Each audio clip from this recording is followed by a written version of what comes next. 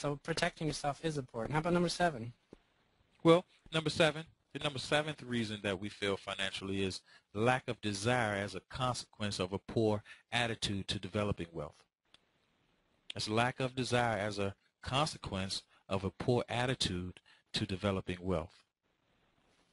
You see, bad. Explain that one. Well, well, bad mental attitude, Shane. A bad mental attitude has caused more personal troubles than anything else. You know, I, I recently had on my uh, on my Facebook page a quote. It, it said, uh, it said, uh, "What is the difference between an obstacle and an opportunity?" And the answer is your attitude towards it.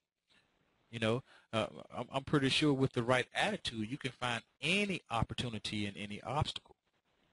It's just your attitude and how you look at it. But everybody wants to be rich. I mean, come on, who doesn't want to be rich? Well, I, you, you, you, you desire to be rich, but your attitude towards developing wealth is not.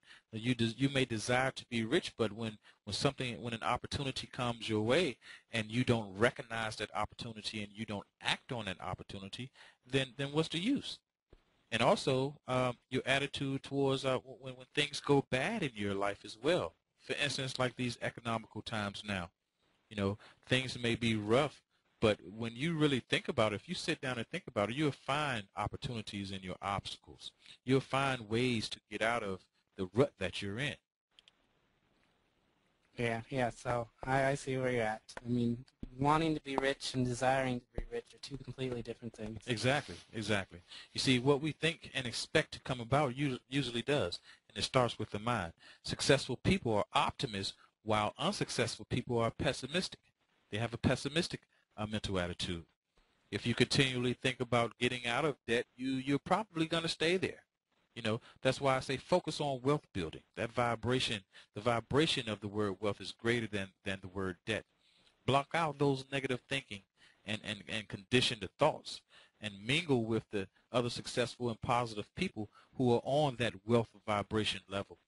In other words, like the old saying go, you know, uh, watch watch the people who you hang around. If you if you hang around a bunch of debt-ridden people, then most likely you're going to be in debt yourself. I, it's true. I, I can see that firsthand in people I know in my own life and myself. So, wise words, definitely. And your mindset plays a big part in all of these reasons. It looks like.